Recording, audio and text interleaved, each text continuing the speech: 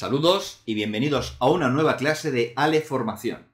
Hoy continuamos con la Constitución Española. Veremos el preámbulo y el título preliminar.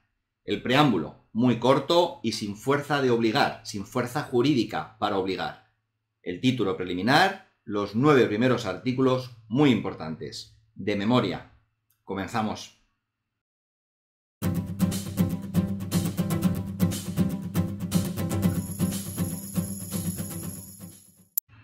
Vamos a continuación a estudiar y a aprender el preámbulo de nuestra Constitución.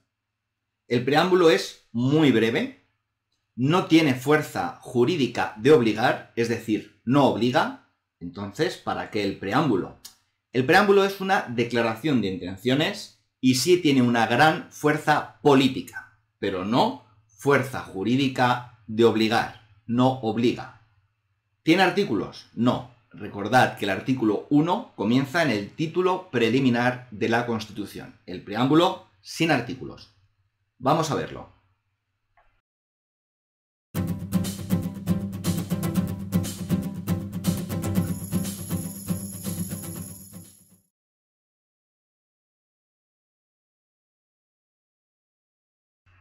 El preámbulo de la Constitución española dice lo siguiente, prestad atención.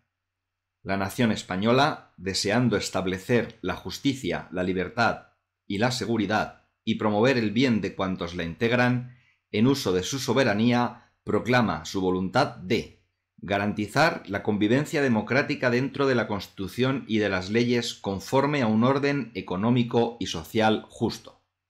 Consolidar un Estado de Derecho que asegure el imperio de la ley como expresión de la voluntad popular proteger a todos los españoles y pueblos de España en el ejercicio de los derechos humanos, sus culturas y tradiciones, lenguas e instituciones, promover el progreso de la cultura y de la economía para asegurar a todos una digna calidad de vida, establecer una sociedad democrática avanzada y colaborar en el fortalecimiento de unas relaciones pacíficas y de eficaz cooperación entre todos los pueblos de la Tierra. A continuación vamos a analizar punto por punto el preámbulo. Vamos a buscar qué es lo que nos pueden preguntar de cada párrafo. Se planteará una pregunta y el alumno debe decir en alto la respuesta, da igual que la busque en el texto del preámbulo, antes de leer y escuchar la respuesta correcta. Comenzamos. Recordad, en los ejercicios de pregunta-respuesta, si para algún alumno la velocidad en la que aparecen las respuestas es demasiado rápida, puede pausar el vídeo cuando se plantea la pregunta, pensarla tranquilamente y, cuando lo considere, pulsar play y seguir con el ejercicio.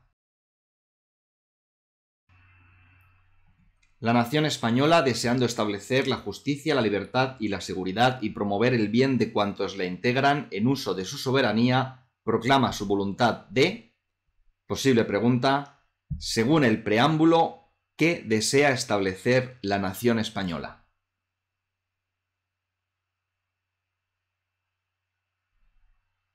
Respuesta. La justicia, la libertad y la seguridad, y promover el bien de cuantos la integran.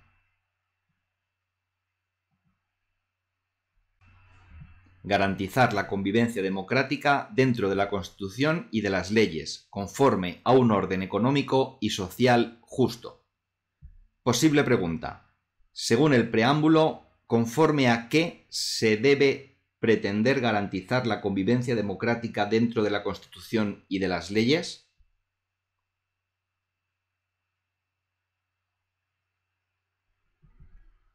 Respuesta conforme a un orden económico y social justo.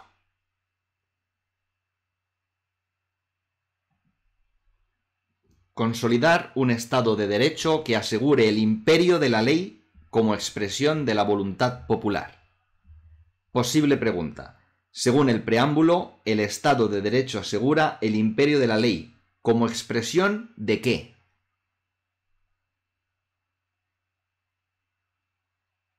Respuesta de la voluntad popular. proteger a todos los españoles y pueblos de España en el ejercicio de los derechos humanos, sus culturas y tradiciones, lenguas e instituciones. Posible pregunta, según el preámbulo, ¿para el ejercicio de qué se debe proteger a todos los españoles y pueblos de España?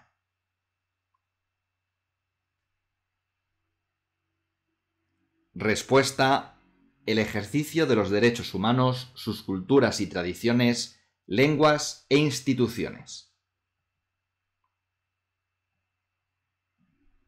Promover el progreso de la cultura y de la economía para asegurar a todos una digna calidad de vida. Posible pregunta, según el preámbulo, ¿cómo se asegura a todos una digna calidad de vida?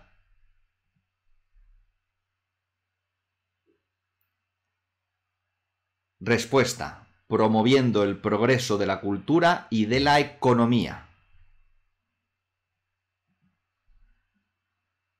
Establecer una sociedad democrática avanzada.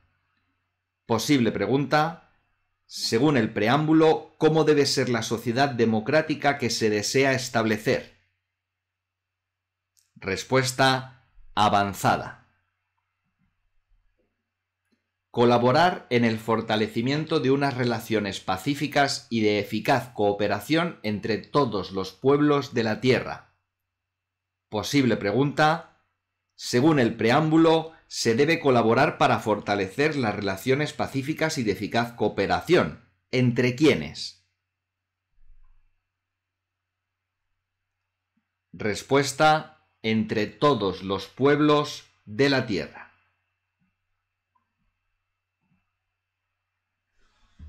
Vamos a realizar ahora un test. Conteste a la respuesta correcta.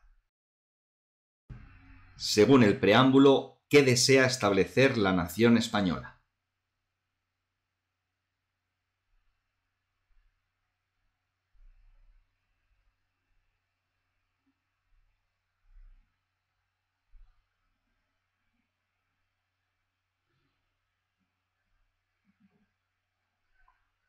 Respuesta correcta, Charlie. Según el preámbulo, conforme a qué se debe pretender garantizar la convivencia democrática dentro de la Constitución y de las leyes.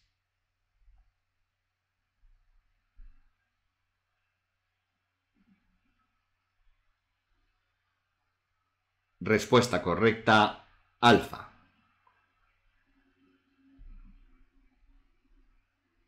Según el preámbulo, el Estado de Derecho asegura el imperio de la ley. ¿Como expresión de qué?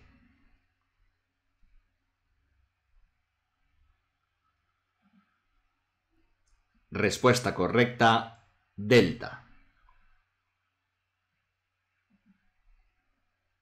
Según el preámbulo, para el ejercicio de qué se debe proteger a todos los españoles y pueblos de España.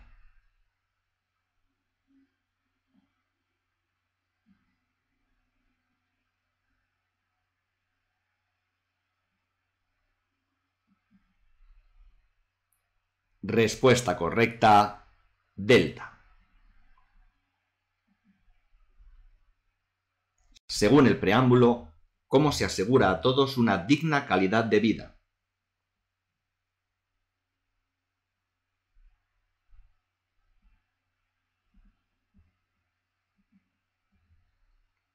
Respuesta correcta, Charlie. Según el preámbulo, cómo debe ser la sociedad democrática que se desea establecer? Respuesta correcta, Charlie. Según el preámbulo, se debe colaborar para fortalecer las relaciones pacíficas y de eficaz cooperación. ¿Entre quiénes?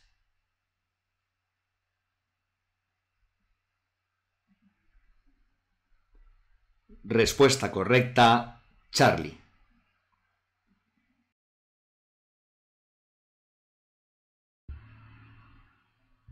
A continuación vamos a ver el título preliminar de nuestra Constitución, compuesto por los artículos del 1 al 9. En el título preliminar se han recogido artículos o muy muy importantes o que no han tenido cabida dentro de alguno de los otros títulos de nuestra Constitución. ¿Es necesario saberse de memoria toda la Constitución? En principio, saberse de memoria toda no, sería lo ideal, pero no. Pero sí los 10 primeros artículos. Estos, por favor, de memoria. Voy a poner un vídeo de ejemplo para que veáis a nuestro alcalde que aprobó una oposición muy importante recitando la oposición. Él posiblemente sí se la sabía de memoria. Nosotros, los 10 primeros artículos. Vamos a estudiar y aprender el importante título preliminar. Comenzamos. Constitución Española de 105 de 1978, artículo primero, España se constituye un Estado social y democrático de derecho que propone como valor superior su ordenamiento jurídico, la libertad, la justicia, la igualdad y el pluralismo político, apartado segundo, la soberanía nacional y en el pueblo español del que mandan todos los poderes del Estado, apartado tercero, la forma política del Estado español, la monarquía y el parlamentario, artículo segundo, la Constitución se fundamenta en la indivisible unidad de la nación española, petea como indivisible de todos los españoles, pero reconoce y garantiza el derecho a la autonomía de las naciones y regiones que la integran, así como la soberanía de todas ellas. Y acabo con el artículo 5. Y, acabo, ¿El artículo 5? y acabo con el artículo 5. La capital del Estado es la Villa de Madrid. ¡Vamos!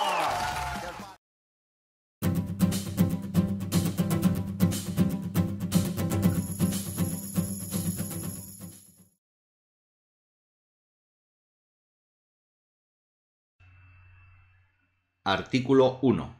España se constituye en un Estado social y democrático de derecho que propugna como valores superiores de su ordenamiento jurídico la libertad, la justicia, la igualdad y el pluralismo político. La soberanía nacional reside en el pueblo español, del que emanan los poderes del Estado. La forma política del Estado español es la monarquía parlamentaria. Posible pregunta. ¿En qué modelo de Estado se constituye España?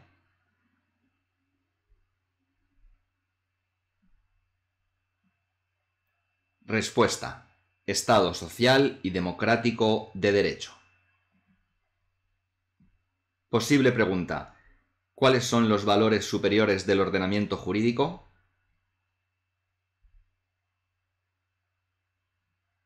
Respuesta la libertad, la justicia, la igualdad y el pluralismo político. Posible pregunta. ¿Dónde reside la soberanía nacional según el artículo 1 de la Constitución? Respuesta. En el pueblo español. Posible pregunta. ¿Cuál es la forma política del Estado español?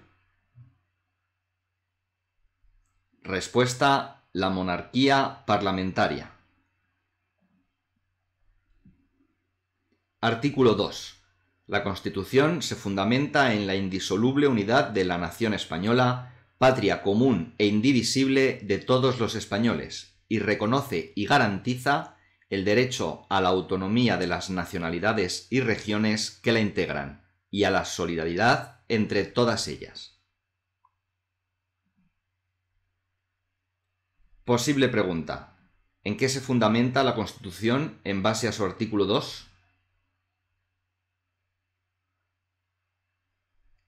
Respuesta. En la indisoluble unidad de la nación española. Posible pregunta. ¿Qué reconoce y garantiza la Constitución en su artículo 2, además del derecho a la autonomía de las nacionalidades y regiones que la integran? Respuesta, la solidaridad entre todas ellas. Artículo 3. El castellano es la lengua oficial del Estado. Todos los españoles tienen el deber de conocerla y el derecho a usarla. Las demás lenguas españolas serán también oficiales en las respectivas comunidades autónomas de acuerdo con sus estatutos la riqueza de las distintas modalidades lingüísticas de España es un patrimonio cultural que será objeto de especial respeto y protección. Posible pregunta. ¿Qué derechos y deberes tienen los españoles respecto a la lengua española oficial del Estado, el castellano? Respuesta. El deber de conocerla y el derecho a usarla. Posible pregunta. Al margen del castellano, ¿serán las demás lenguas españolas oficiales? Respuesta sí en las respectivas comunidades autónomas. Posible pregunta. ¿Qué será patrimonio cultural y objeto de especial respeto y protección?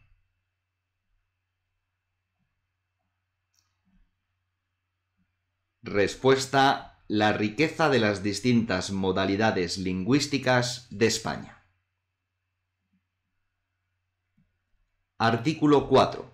La bandera de España está formada por tres franjas horizontales, roja, amarilla y roja, siendo la amarilla de doble anchura que cada una de las rojas.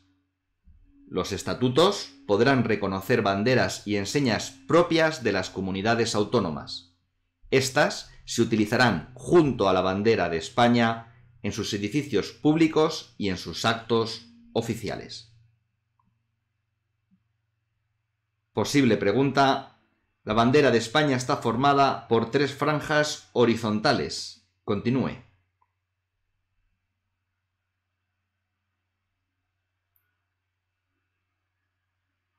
Respuesta roja, amarilla y roja, siendo la amarilla el doble de anchura que cada una de las rojas.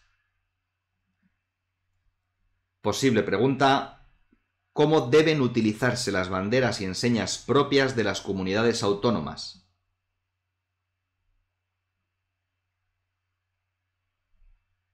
Respuesta, se utilizarán junto a la bandera española en sus edificios públicos y en sus actos oficiales, junto a la bandera de España. Artículo 5. La capital del Estado es la Villa de Madrid. Posible pregunta. ¿Cuál es la capital del Estado según el artículo 5 de la Constitución? Respuesta, la Villa de Madrid. Artículo 6. Los partidos políticos expresan el pluralismo político, concurren a la formación y manifestación de la voluntad popular y son instrumento fundamental para la participación política. Su creación y el ejercicio de su actividad son libres, dentro del respeto a la Constitución y a la ley su estructura interna y su funcionamiento deberán ser democráticos. Posible pregunta, ¿cómo debe ser la creación y el ejercicio de la actividad de los partidos políticos?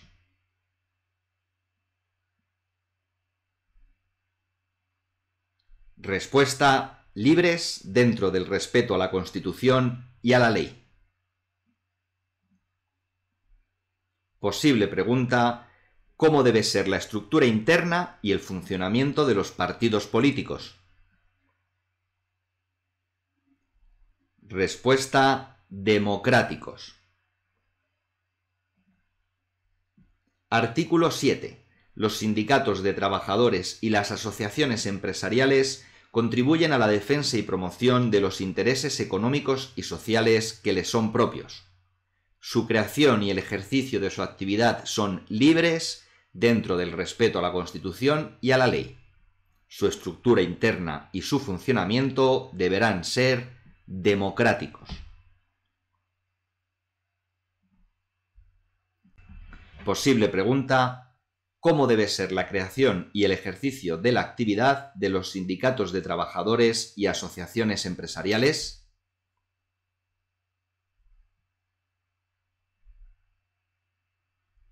Respuesta libres dentro del respeto a la Constitución y a la ley.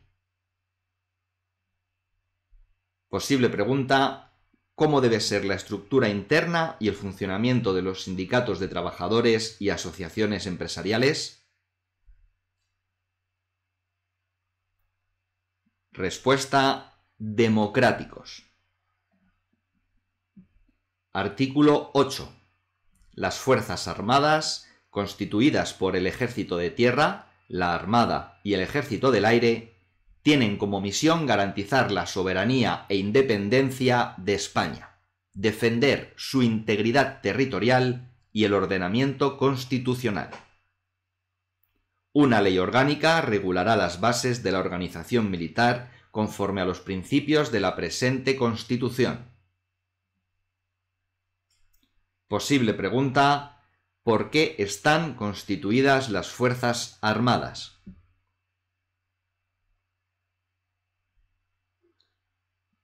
Respuesta el ejército de tierra, la armada y el ejército del aire. Posible pregunta ¿Qué misión tienen las Fuerzas Armadas?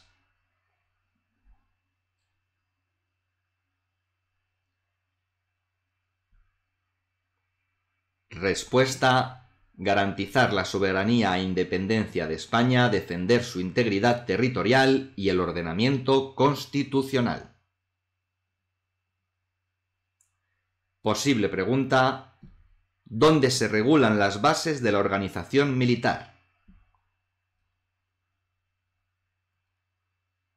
Respuesta en una ley orgánica. Artículo 9. Los ciudadanos y los poderes públicos están sujetos a la Constitución y al resto del ordenamiento jurídico. Corresponde a los poderes públicos promover las condiciones para que la libertad y la igualdad del individuo y de los grupos en que se integran sean reales y efectivas. Remover los obstáculos que impidan o dificulten su plenitud y facilitar la participación de todos los ciudadanos en la vida política, económica, cultural y social. La Constitución garantiza el principio de legalidad, la jerarquía normativa, la publicidad de las normas, la irretroactividad de las disposiciones sancionadoras no favorables o restrictivas de derechos individuales, la seguridad jurídica, la responsabilidad y la interdicción de la arbitrariedad de los poderes públicos. En este artículo nos vamos a detener para explicar cada uno de los principios que se nombran en el punto 3. Principio de legalidad. Principio jurídico que sustenta el Estado de Derecho, en virtud del cual los poderes públicos están sometidos a la ley y al derecho. La ley está por encima de cualquier actividad o función del poder público. Todo lo que emana del Estado se rige por la ley y no por la voluntad de los individuos. Principio de legalidad. ¿Qué significa? La ley está por encima de todos y de todo. Así de sencillo.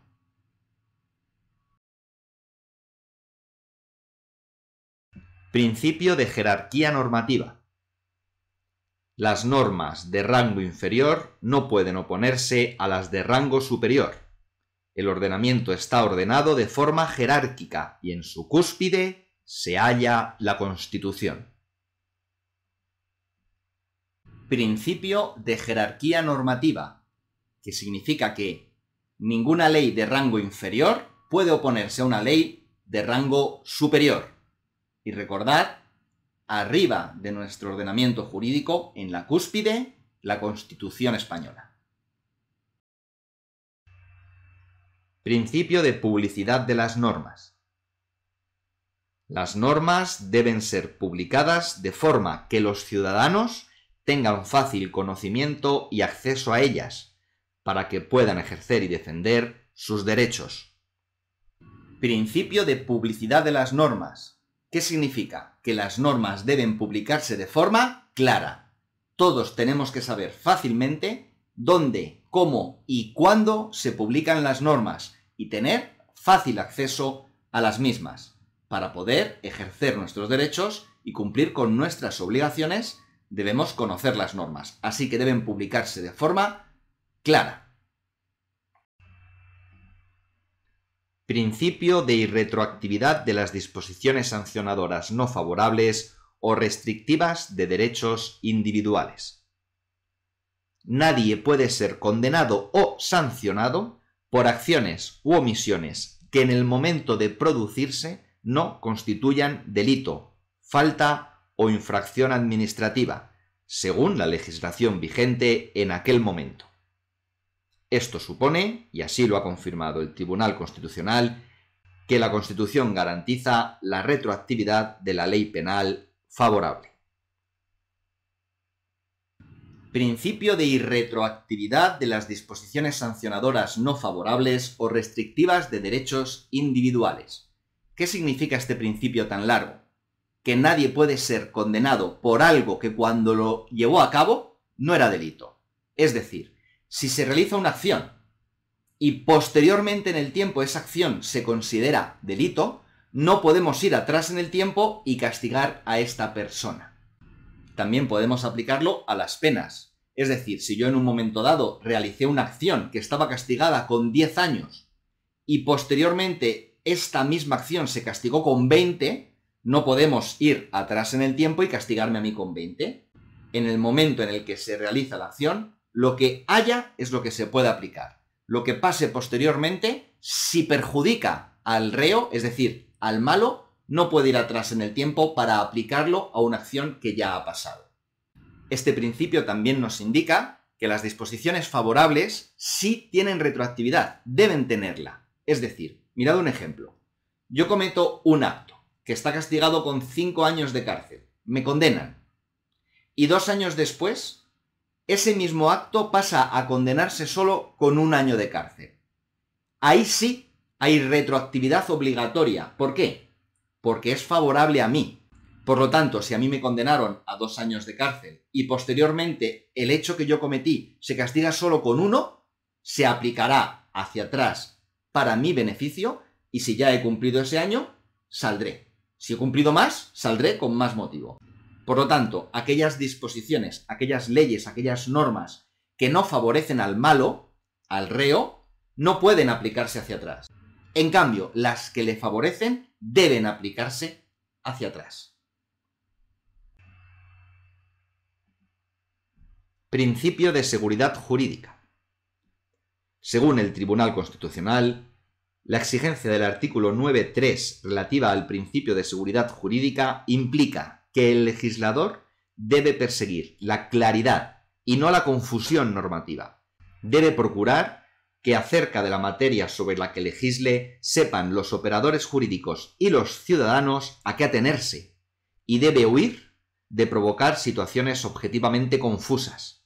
Hay que promover y buscar la certeza respecto a qué es derecho y no provocar juegos y relaciones entre normas como consecuencia de las cuales se introducen perplejidades difícilmente salvables respecto a la previsibilidad de cuál sea el derecho aplicable, cuáles las consecuencias derivadas de las normas vigentes, incluso cuáles sean estas. Principio de seguridad jurídica. Muy sencillo. Todo debe estar claro, clarísimo. Lo mandado, lo permitido y lo prohibido. Me tienen que dejar claro qué puedo y qué no puedo hacer. Claro, claro. Principio de seguridad jurídica. Principio de responsabilidad de los poderes públicos. Los poderes públicos son responsables por los daños causados en el ejercicio de su actuación. La única excepción a este principio es la referida al jefe del Estado, pues, de acuerdo con el artículo 56.3 de nuestra Constitución, la persona del rey es inviolable y no está sujeta a responsabilidad responsabilidad que se traslada al sujeto refrendante.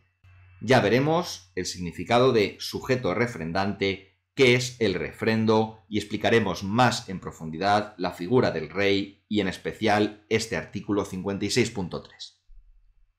Principio de responsabilidad de los poderes públicos. Muy fácil de entender. Si un poder público la caga, la paga. Así de fácil. Principio de interdicción de la arbitrariedad de los poderes públicos. Prohibición de que los poderes públicos actúen conforme a la mera voluntad de sus titulares, sin ajustarse a las normas. Queda prohibida toda actuación que esté al margen del derecho. Las decisiones de los poderes públicos deben ser razonadas para que no se lleven a cabo actuaciones injustas. Principio de interdicción de la arbitrariedad de los poderes públicos. Un nombre muy raro, muy sencillo. Los poderes públicos no pueden actuar al tuntún, es decir, arbitrariamente. No pueden llegar y decir, tú, detenido, ¿por qué? Porque me apetece. Tú, a la cárcel, ¿por qué? Porque me voy a inventar una ley. No. No pueden actuar arbitrariamente, no pueden actuar como les dé la gana. Principio de interdicción de la arbitrariedad de los poderes públicos. Muy fácil de entender, aunque tenga un nombre un poco raro. Posible pregunta. Según el artículo 9 de la Constitución, ¿quiénes están sujetos a la Constitución y al resto del ordenamiento jurídico?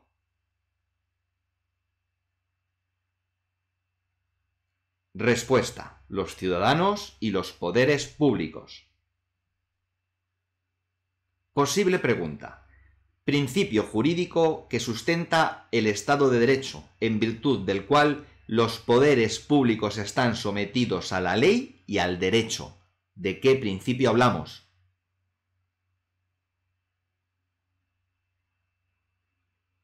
Respuesta. Principio de legalidad. Posible pregunta. El legislador debe perseguir la claridad y no la confusión normativa. ¿De qué principio hablamos?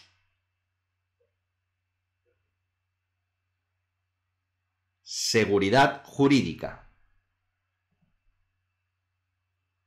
Posible pregunta. Prohibición de que los poderes públicos actúen conforme a la mera voluntad de sus titulares sin ajustarse a las normas. ¿De qué principio hablamos? Respuesta. Interdicción de la arbitrariedad de los poderes públicos.